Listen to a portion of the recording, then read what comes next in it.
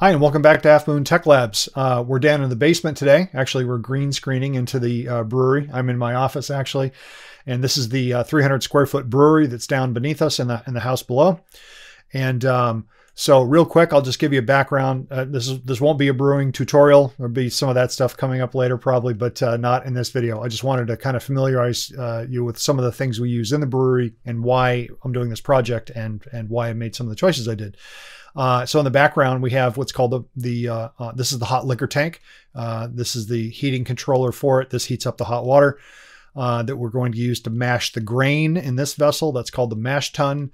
After that enzymatic conversion is done in that mash tun, that liquid is drained off into what's called the boil kettle. That's this one here. And that is where you strike a boil and uh, usually for about an hour give or take you would boil and this is where you add hops and you do the, the, the final cooking of the beer so so to speak so uh, anyway that's the brewing stuff now after the after the brewing's done why i'm telling you this is um, the next stage is fermentation so you have to cool this um, the uh, the the hot uh, what's called wort, which is the um, uh, the liquid uh, at this point that's going to be turned into beer through fermentation. Uh, right now, it's referred to as wort. Uh, you basically uh, transfer it into a fermenter. Some people use a five gallon bucket. Um, you can use a, um, I, have here, I have a, a, a conical stainless fermenter. Um, and um, this is stainless steel obviously conical because of its uh, uh, it has this V cone down on the bottom, and um, this is where the beer is going to be introduced to the yeast. And this is where all of the fermentation is going to take place. Um, once the fermentation is complete in here, and you want to make sure that this is super clean. That's the whole point of this project, actually. Uh, this pump cart that I'll be telling you about, its purpose is for um, I'm building mine not to move beer product around between vessels. I have other little pumps and things for that. I want to use uh, the pump cart as what's called a CIP uh, pump. So I'll be doing clean in place. Uh, so you can use chemicals and hot water uh, to hot wash and use uh, a combination of uh, caustic or acidic or both caustic and acidic cleaning solutions. There's all different ways that you can do it, but basically you need a a pump that can stand up to the aggressive chemistries and the temperature uh, required to clean these. And then up here I have a handful of um, other vessels. These are uh, called Cornelius kegs or corny kegs, we call them. Uh, I have about half a dozen of these scattered around and some other larger kegs as well. So this and and these guys up here, those are things you would want to. Uh, it would be great to have a, an actual CIP cleaning process for because you could just nuke these things and make sure there's no microbes, no wild yeast or bacteria left at all in these, and then uh, have a much better chance of having a good fermentation. So, anyway, don't have to have a pump cart. You can do all the stuff by hand. I I work part time in a professional brewery, and uh, and I do this at home for fun. So I would, and being as I like to build my own stuff, I thought it would be really cool if I could build a commercial pump cart. There's only one issue. Um, commercial pump carts, which uh, let me show you what they look like. There we go. Um, there's an example of one. These go from like 3,500 to $6,000. Okay. Out of the price range for most home brewers, and most people wouldn't bother doing that at home anyway. Um, uh, it's it's really not needed, but uh, uh, but if you had one, it would be really cool. So uh, I said, well, I'm not going to spend that kind of money, but I do like to build my own stuff. So why don't I go poking around on eBay and see if I get lucky and find. Uh, let me let's jump out of the brewery here for a second. I'm going to jump out of there, and let's show you what the actual pump I found looks like. Okay, so and that's the motor actually. Uh, the pump, you'll see the full pump and motor assembly in a minute uh, as, as, as we go through this. But uh, so this is a what's called a Watson, um, I'm sorry, a Leeson watt saver. it's a Leeson watt saver motor, uh, popular motor. This is a hazardous duty motor uh, that's uh, washdown rated, and it also has a uh, broken fan guard on the back, as you can see here. And all these little dings you see here are from this connector that was flopping around in the box. So I got really lucky. I poked around on eBay, uh, specifically trying to find um, these hazardous rated multi horsepower uh, three phase pump motors and pump motor combos. Um, now, this particular motor mated to a Corcoran uh, uh, stainless, a 316 hazardous duty stainless pump, which is fantastic, is also very expensive. They're about $3,600 for that pairing. Uh, that's not what I'm going to be spending on this project at all. So, uh, but I poked around and what I found was this was a new, uh, new stock, but in the box and it was just listed as, as, you know, there was a, you know, they showed the pictures that it was broken, but they said it was new. So I took a chance, uh, because I thought maybe it's just this fan guard and the pump looked to be brand new. The motor, with the exception of these dings on the side, I believe is also brand new uh, or at least I believed it was brand new. So I bought it and uh, I scored this thing. Uh, it was basically, I, I, think it was insurance. Um, uh, it was it was an insurance deal where somebody just wrote this off, and you know people buy pallet lots of broken stuff and then sell it on eBay. That's what this was. I spent $130 give or take on this, and it's perfectly good. I had to spend 20 bucks to change this fan guard in the back, a little touch up on these dings on the side for the paint. and that's it. It was, it was a $3,600 uh, pump motor combo I got for 130 bucks and it's perfectly good. So uh, spend 20 bucks to change that fan guard and we're up and rolling. So, uh, but we're going to need a lot more than that. Um, the one thing is you'll notice this is a three phase motor, three phase.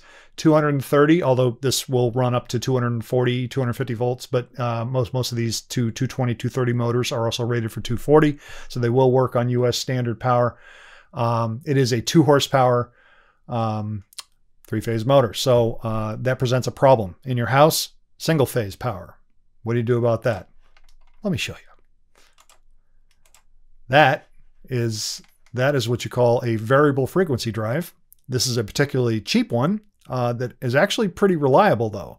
This these have a pretty decent reputation. This one's made by an outfit called Vevor, V-E-V-O-R. I believe they have the same parent company as Lincoln, who make welders.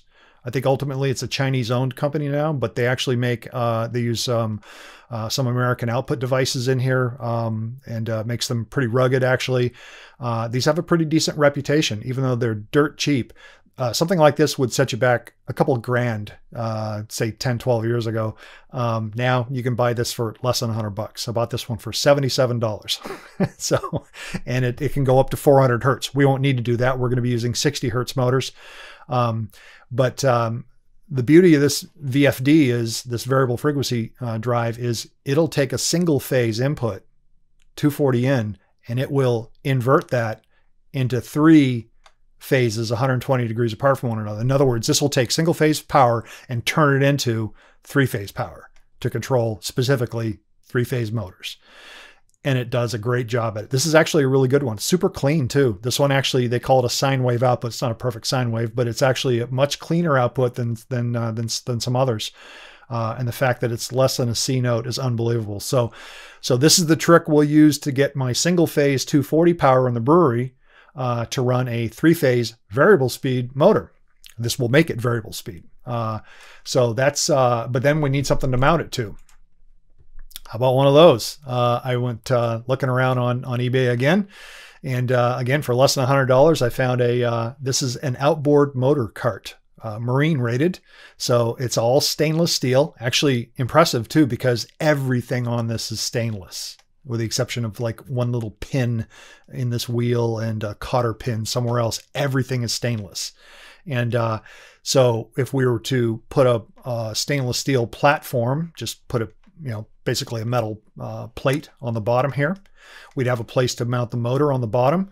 We can mount our VFD up here and we're on our way to making an honest to goodness pump cart that um, actually doesn't look too much different than that if I do it right let's see how we do. Um, so there's also um, uh, the problem of uh, you're gonna have to have an enclosure. Uh, so again, uh, these are these can be extremely expensive. Uh, all stainless steel NEMA rated uh, waterproof box made for electrical enclosures. Um, again, lots of new old stock on eBay, and I got this one for a fraction of its original price. so again, with uh, you know buying stuff for pennies on the dollar on eBay that's brand new in the box. Uh, sometimes a little patience pays off. It took me about three months to slowly collect all of the components that I needed. But but when I was done, I had all this, and uh, I've decided to go a little nuts and uh, get this process meter too uh, from uh, from an outfit that I've done a lot of business with. They've uh, uh, they, they they do they make some really cool instruments, and and this is one. This is again less than a hundred dollars. This is what's called a process meter. At its heart, it's a voltmeter, um, but it's programmable via USB you can download the app for nothing, uh, plug in via USB to it, and then you can set these scales and these numbers. You can you can do all kinds of cool stuff with these. So I set mine up so here it says RPM instead of amps. Uh, I programmed this to actually display the um, the actual RPM of the motor, which is derived from a signal that comes off the VFD that I was able to uh, uh, to leverage. Uh, and then I express uh, zero to 100% on this scale. I, I, got rid of this, and this says zero to 100 uh, to show what the what the percentage of the of the ultimate speed of the pump is. Now the pump we have um, is a 3600 RPM, or basically it's actually 3490 RPM is its ultimate RPM. So just under 3,500 RPM. It's uh, it's very typical for a 3,600 RPM motor. You'll see ratings that slip a little bit around that. Uh, they're usually a little less than 3,600. Uh, so anyway, I'm going to set this thing up. I'm going to get, I'm going to put this fancy process meter in it too, so that uh, not only will we have uh, a nice cart with a pump on it with the switches and controls and stuff, but we'll have a nice little uh, meter that will show us exactly what our output is. Um, and uh, we'll have a potentiometer as a speed control so that we'll be able to do that and vary this from zero to approximately 3,500 RPM. So uh, let's plow into this project and uh, you'll get to see me unboxing this stuff and kind of noodling through how to put it together. And then uh, in the end, you're going to see the finished uh, product and I'm going to use it. I'm going to, I'm going to do a quick uh, test and uh, it's pretty cool actually. so, so let's get into it. All right. The hand cart was just delivered that I bought on eBay. This was less than a hundred bucks. Supposed to be stainless, meant for an outboard motor stand, but should serve as a nice uh, platform for my VFD and brewery pump. So uh, package is a little damaged. Haven't opened it up yet. I'm assuming it's fine inside. We'll find out in a minute. Okay, just open it up. Uh, contents appear to be no worse for wear. Now I'm going to assemble it. We'll see what it looks like when it's assembled. Alrighty, and there it is assembled. It only took me about 10 minutes. Um, their instructions are terrible. Basically, it's just a picture, but you can figure it out. There's not a lot of parts. The only thing I would suggest is um, when you put it together, put this board on last because otherwise you're going to have a hard time getting this on without breaking something. So, uh, but I figured that out beforehand and that's how I assembled it and it worked great. This thing is rugged. This is really heavy duty pipe and it's stainless. Check this out. It's a magnet. Everything, all the nuts and bolts, non-magnetic stainless. The only, even the cotter pins, the only thing I found that are uh, um, that will stick to a magnet are the yes these these tires are actually pretty nice. They're dual ball bearing. There's a there's an actual press in ball bearing, like an off the shelf ball bearing that you can replace on the uh, inner and outer side of the hub. Um, and so the bearings are steel, but everything, including this cotter pin, everything is stainless steel and a decent grade of it too. Um, these casters, not stainless. This caster, basically just these two front locking casters are steel, um, but they're high quality. Um, they do work, they do lock. Um, the only other thing I found that's not pure stainless is these little spring metal buttons that are used when you first assemble it. Uh, those appear to be uh, chrome plated steel or nickel plated steel, whatever. But um, other than that, this thing is, I mean, even the screws here, those are stainless steel, everything. So yeah, it's uh, way more rugged and high quality than I expected, to be honest. And I'm happy with that. This is going to work as a, as a pump stand just fine. All right, on to the next step. All right, I ordered a 3 16ths by 20 inch by 20 inch stainless steel 304 grade uh, plate. And uh, that just came in, and um, it's just a flat piece of stainless steel. Very heavy, it's about 22 pounds. I have to make a few notch cuts and do some contours on it so that I can drop it into this base. I've made a cardboard mock-up, as you can see. And so we need to make accommodations for the fact that it's going to slide back in there. We need to have some cutouts for the tires. And it needs to cut off before this radius begins here that brings it back up. So anyway, I've made this cardboard mock-up. I can get this in and out without flexing it. So I know that uh, if I can cut the stainless, use this as a template, drop it on top of the stainless, I'll then have what I need to make my stainless piece for the rack. So off to the drill press I go. Okay, back in the basement workshop. Here we've got this uh, slab of 3 16ths, 304, 20 inches by 20 inches. I've got it mounted up on the uh, drill press, and this is real high quality 304 stainless. Uh, being uh, stainless, it has chromium in it, so it beats a snot out of drill bits. But uh, anyway, there's a trick you can use where you just use water as the lubricant and go nice and slow and steady, and uh, you can do it without burning up bits as bad. So we'll see how this step bit does. Probably terribly, but uh, we'll give it a try and use plenty of water and take our time. And this will be the hole um, that the pipe will go through, and then I'll uh, have to make a few notch cuts with the um, die grinder. So off we go.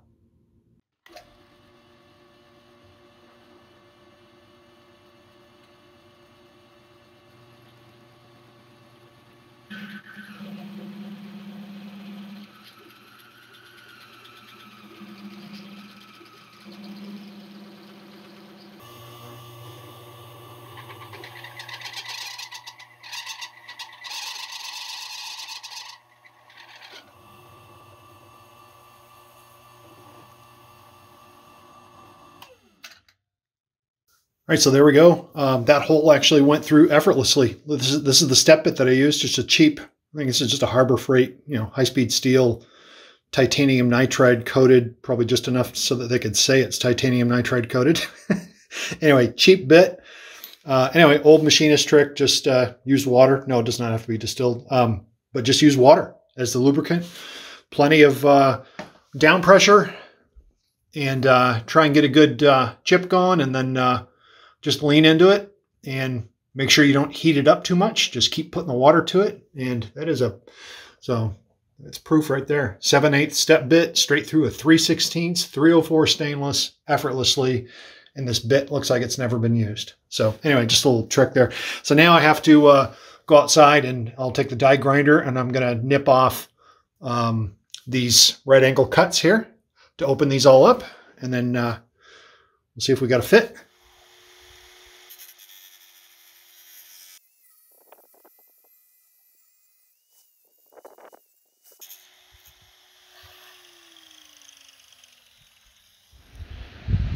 All right, so that first notch is done. Now I just need to do the other four corners and uh, bring it in and do a rough fit, see how it works. There we go. One, two, three, four corners notched out. This is where we drilled the 7 eighths hole. Notched there. Took the flapper wheel on the die grinder and went all the way around, softened up these edges. Now we're going to flip it over and uh, take the flapper wheel to the whole uh, surface. Decided I'm going to have the other side facing up. So, um, but anyway, let's do that real quick and uh, see how it works.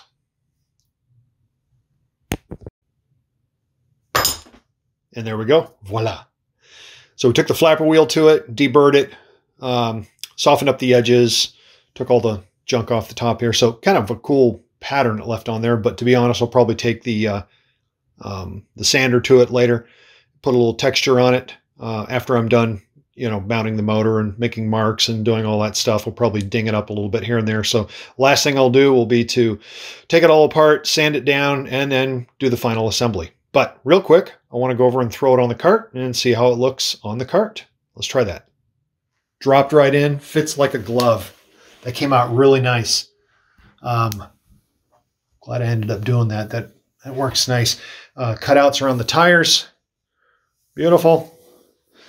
This is uh, where the radius begins, about right here to come back around to the top. So this is laying on flat pipe right there. So this is all perfectly level. And uh, it is now 19 and a half pounds instead of 22 pounds. Uh, looks great. looks like uh, it's going to work out nicely. So I just have to affix it to the cart and then mount the motor to it. Get on that next. Okay, just did a rough fit of the motor. Uh, took the uh, the motor and pump assembly, uh, threw it on top of a piece of cardboard so I could lay it on the plate and slide it around and not mar it up too bad. Uh, but I think I like this with the sanitary fittings uh, right in the front. Uh, not encumbered by the framework at all. I can get sanitary hoses onto those fittings, no problem, with plenty of clearance. it's centered nicely on that stainless slab that we've got on the cart now. And I left a little bit of relief between the back support pipe that goes up to the VFD mount and the motor uh, fan in the back, the uh, the fan guard.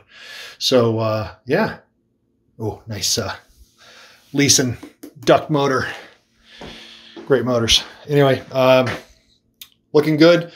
So now we just have to uh, physically mount the plate to the frame, mount the motor and pump assembly to the plate, and then get to work on the electronics, get the VFD uh, mounted in a box and on that back plate, get everything wired up. We'll probably take that conduit and run it up, uh, lash it to that uh, pipe in the back. And uh, so that's nice and neat, not flopping around. And uh, there we go. Off to the next step. So just to be safe, before I test this pump on the VFD, uh, I don't want to run it dry uh, and I need to make sure that the phase rotation is correct. So what I've done is I've decoupled the pump from the motor. And now we can pull that right off. And now we're free to spin the motor either direction um, so that if uh, the first time I hook it up with the VFD, if it spins the wrong way, I'm not going to hurt anything. And I'm also not dry running the pump. So um, right now I'm uh, doing the bench uh, build. I'm basically just wiring it on the bench outside the box before I cut anything uh, in the box that's going to be mounted here. The VFD will be housed inside of a stainless compartment right there. Before I cut any steel, I want to make sure that the electronics are all working properly and everything's set up right um, in case I have to make some adjustments to the plan on the box. That way I haven't already cut metal and have to go back and do something else later and hate myself for it. anyway, uh, so now um, the uh, the next thing I did was um, I hooked up this phase rotation meter. Uh, these are kind of nice if you have one. If you don't, it's fine. You can just kick the motor and see which way it spins.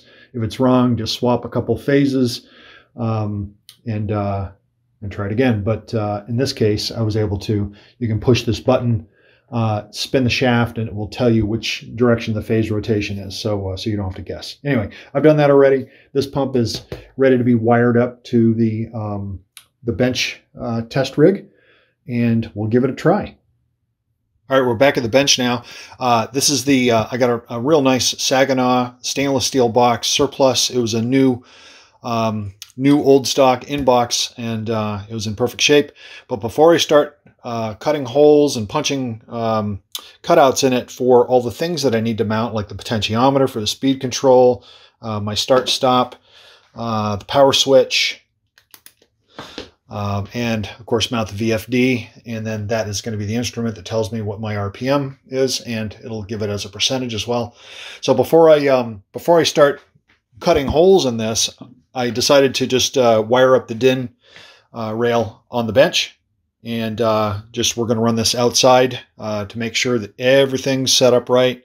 Uh, we've got everything programmed correctly and that it interacts with the motor correctly. And uh, after all that's done, and I'm confident that everything looks good and is going to work good, only then will I start cutting my holes to mount everything that you see here.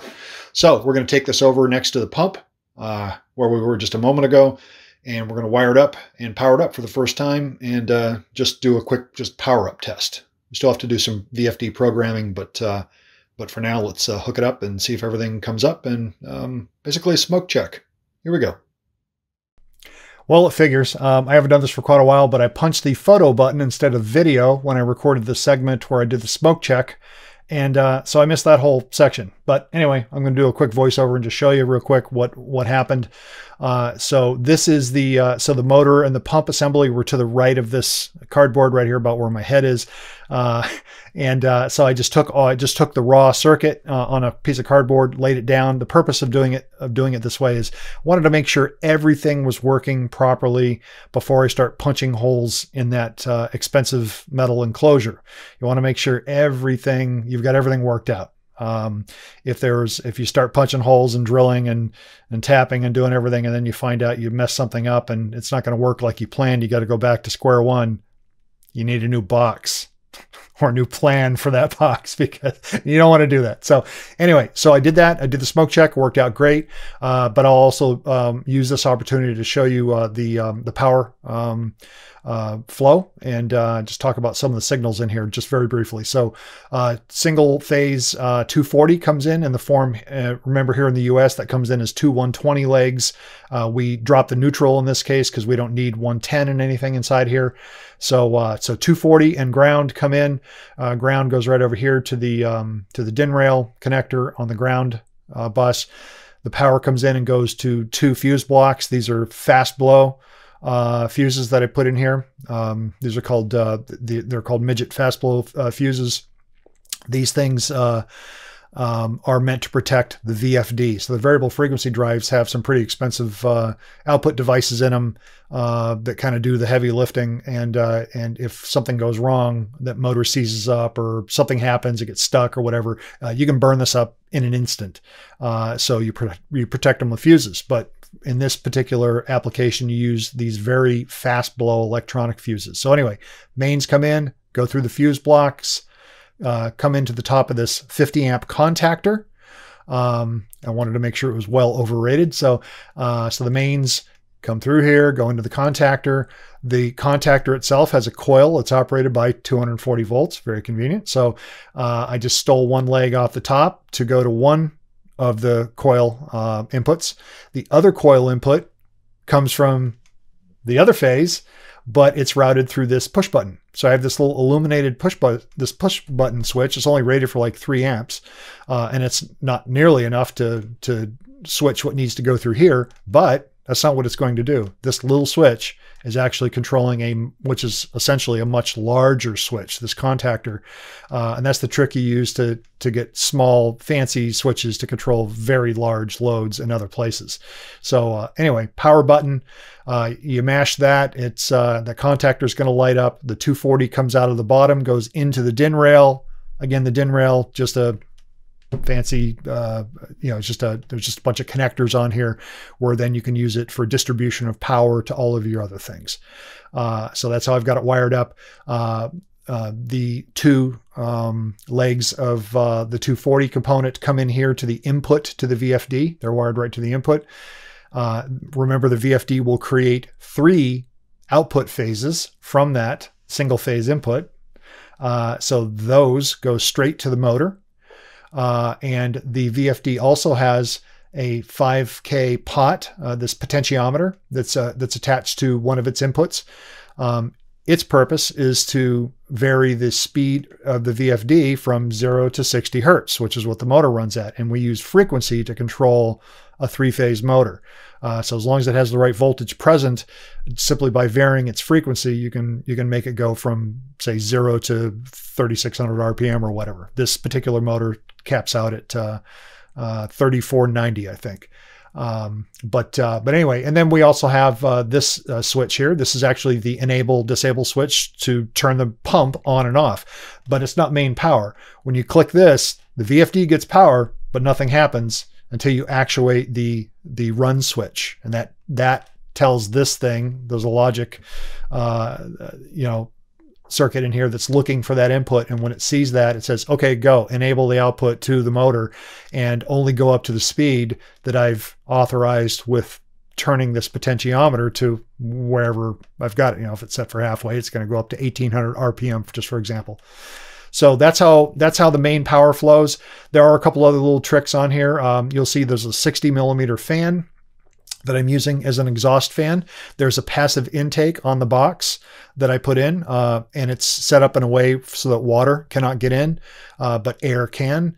So the air uh, is allowed into the box through the passive inlet, and then this is the powered uh, outlet fan. Uh, so two identical um, little devices hanging on the side of the box to let air in and out. But on one of them, you've got this fan that's forcibly exhausting the heat from inside the box out because you don't want to trap that heat inside the box. You'll burn up your, your, your VFD in short order. So uh, in really, really big cabinets, you may not have to have a fan assist because the, the cabinet itself can radiate enough power um, just in the form of radiation uh, so that it'll never really heat up uh, internally. But um, but for smaller enclosures, yep, you want a fan assist. Uh, some way of getting getting the heat out. Um, so that's kind of the the catch 22 with these these cheap VFDs, super cheap, not NEMA rated. Can't use them around water. So what do you do? You put them in a NEMA rated enclosure, and then you have to come up with a cooling solution. So that's what that was. So, and luckily this VFD actually has an output on it, 12 volts, 200 milliamps, enough to power that fan and then some. Uh, it also has another output, a zero to five volt output that I am leveraging to tickle the input of this process meter. This process meter, if you recall during my intro, will express the speed uh, as RPM, but also as a as a uh, uh, like a big power bar from zero to 100%. So anyway, fancy. but uh, that's how that works. And um, like I said, the smoke test worked good. So now, now that I know all these components work as advertised, I can now start punching holes and and mounting this stuff inside the box and and and wrapping up this project. So let's get on to that.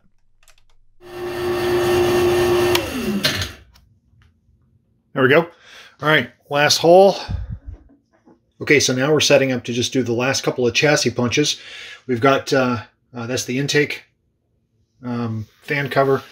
This is the exhaust fan cover. Actually, that one's going to be passive. This one will have the fan assist on it blowing out. Um, power switch there. This is going to be um, the uh, motor leads come in here and power will be here. And we've got the uh, lid already all punched out too. So anyway, last couple of punches here. We'll do use a couple of these chassis punches and then we'll do the final assembly. So here we go.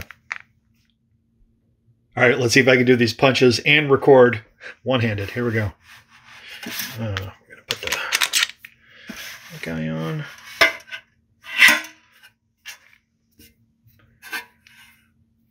These are great. Nice chassis punches.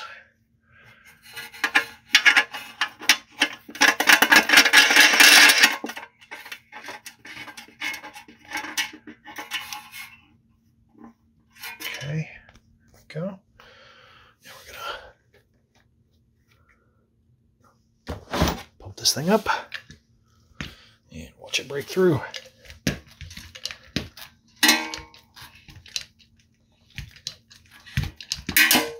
it goes. All right, there we go. So now we can uh, pull that through.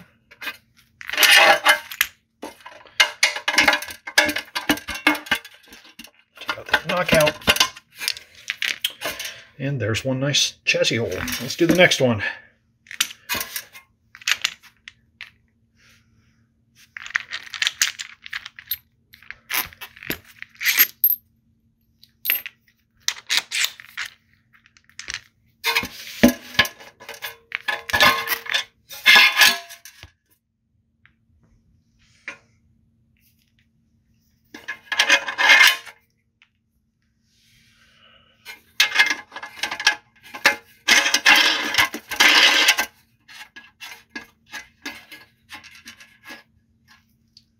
Okay. And pop it up.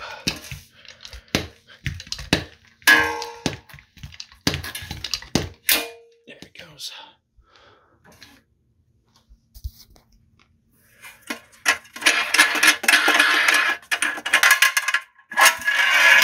Go. Okay, there we go. Two nice clean chassis punches. Okay. Motor connection. Power in. Back to the bench. And there we go with the uh, motor leads and the power input. So I've just dropped it inside here. This is roughly what it's going to look like. I got to pull this back out now because we have to mount the box to the backing board on the on the cart, which is where we're going next. Nice. There we go. All right. All right, the box is mounted. Now let's get the VFD and all the electronics in here and get this baby wired up. All right, we've got the box mounted. We have everything mounted inside the box. So the VFD and all the electronics have been mounted now. I have to be careful, this is live. Um, but uh, there it is inside there. There's the VFD. It's pretty cramped in there. You see the DIN rail is pretty busy. Um, we have a powered exhaust on this port right here, and it's pointing back at that uh, back plate so that uh, there's no water ingress possibility there. Uh, that's the intake, same idea, pointing back that way. Um, and uh, the VFD has its own fan, um, but there's no way for the heat to escape the box except by radiation. So, um, so I put the fan in there to help keep things cool. Everything's properly fused, grounded, and there we go. Let me, uh, let me close this thing up. Okay, power on test. I intentionally have this wired so that when it's plugged into 240, uh, right now I'm just uh, stealing power off my 1450 with this adapter uh, from one of my brew uh, plugs.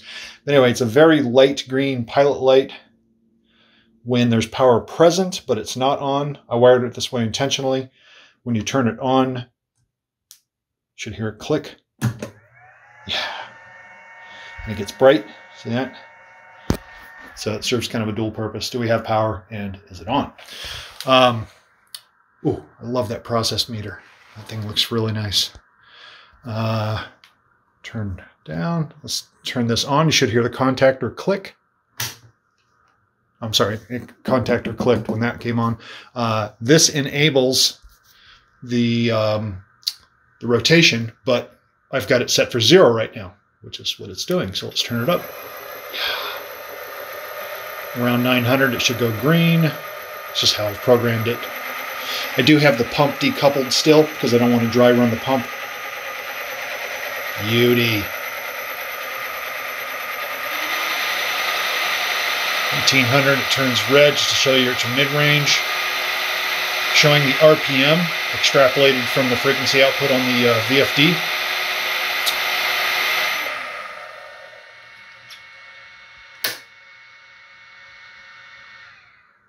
There we go. Now you can hear me talk. Um, so from zero to 900 RPM, I've got it set to just be um, just display in white.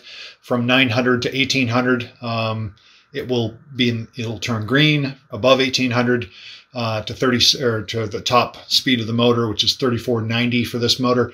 Uh, it will turn red in that range to let you know you're in the upper leg of the range. So I've kind of split it into thirds with different colors. Uh, but anyway, let's give that a try.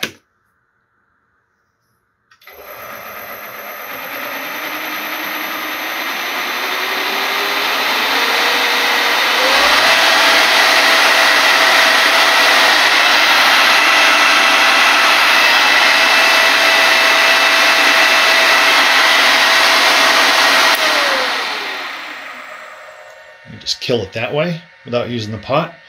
You could even set the pot at some mid-range level if you wanted to and turn it on. I've got it set for a two second ramp from zero to whatever the program speed is. Nice.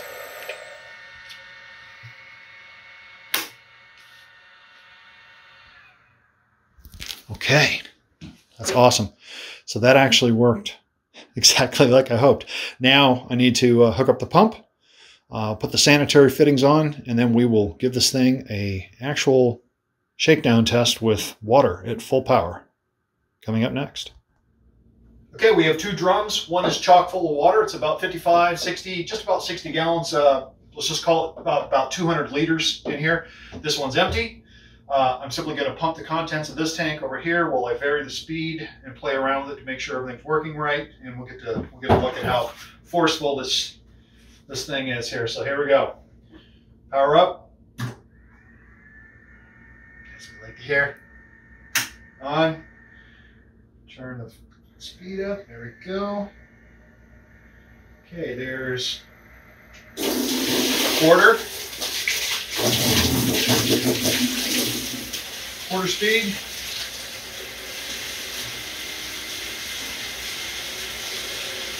Half speed. Look at the wall. Look at that.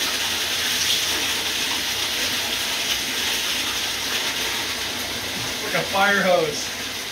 And. Holy crap. I can hardly hold this thing.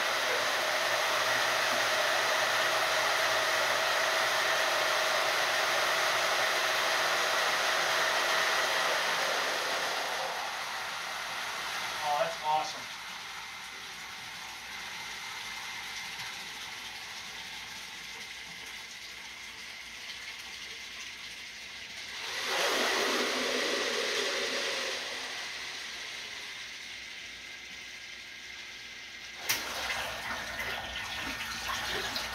Nice. All right, we're going to do a full pump test uh, next, full speed, see how fast this thing actually goes, and from that we'll be able to figure out our flow rate. All right, here we go. Let's uh, do a full uh, flow test, and we'll figure out the flow rate from this. I'm going to go right up to top speed, and as soon as I engage this, we're going to time how fast it takes to transfer approximately 60 gallons, about 200 liters, uh, from here to here. Here we go.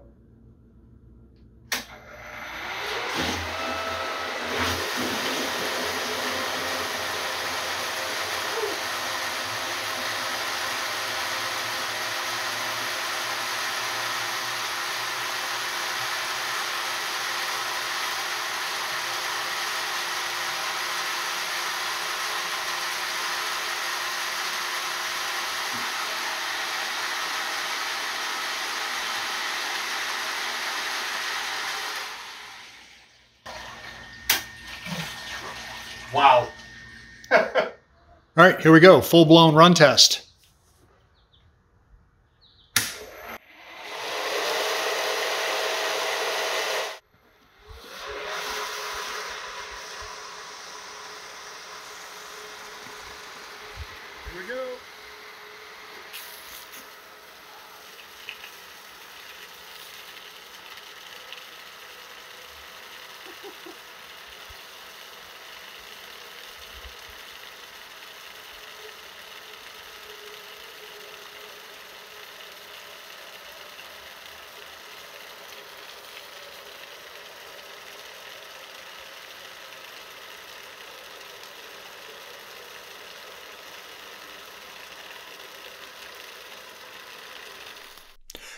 Well, as you can tell, I'm pretty pleased with that. That worked out really well. Uh, it worked out exactly like I'd hoped. Uh, it took quite a while to source the parts. I had given myself a budget of 600 bucks. I violated that by $200 because I couldn't help myself. I put some more bells and whistles on it, including that cool process meter, which I really like. But the fact is, um, I put this together uh, for pennies on the dollar compared to what this would have cost if I had bought a commercial cart. And now I have a commercial quality uh, pump cart for my brewery. And uh, uh, let's figure out what the uh, the final. Let's turn on a calculator here. Okay, and what did we have? A 60 gallon vessel. Uh, so it was uh, 60 divided by the average. I, did three runs. The average was 32.5 seconds. So that's 1.8, just about 1.85 gallons a second. Uh, times 60 seconds in a minute is 110, almost 111 uh, gallons per minute. And that's going through an inch and a half hose uh, versus a two inch hose. The inlet on this pump is actually two inches. I've necked it down to an inch and a half. Uh, not always recommended to do that, but for what I'm doing uh, with this, that, that will be fine. Plus, I want to be able to accommodate inch and a half um, uh, TC connectors on all my uh, brewery uh, hoses. So anyway, it's going to be great. I can set it for anything I want up to 111 or what does that come out to? Uh, uh, times three point, was it 785? just about 420 liters. So 111 gallons a minute or 420 liters a minute, approximately. Um, that's uh, that's cooking. uh, really happy with that. Um, so uh, anyway, uh, thanks for thanks for sticking in there uh, and watching this. Uh, if if you've made it this far, uh, you're very patient. This was a long project. It took me a long time to accumulate all this stuff and put it together. Um, but I thought I'd share it. It was a fun project, even if you're not into brewing. Uh, these same techniques and things, some of the stuff you you may have picked up in here, uh, you, you, could you could use in the machine shop or for fan controls or for anything that that where a three phase motor would fit the bill but you only have single phase power uh, in that area. This is a way to uh, uh, to basically take a three phase load, power it with a single phase input, and um, and build whatever you need, up to including a brewery cart. So there you go. Uh, anyway, thanks for uh, tuning in to Halfmoon TechLabs, and uh, we'll see you. Thanks a lot.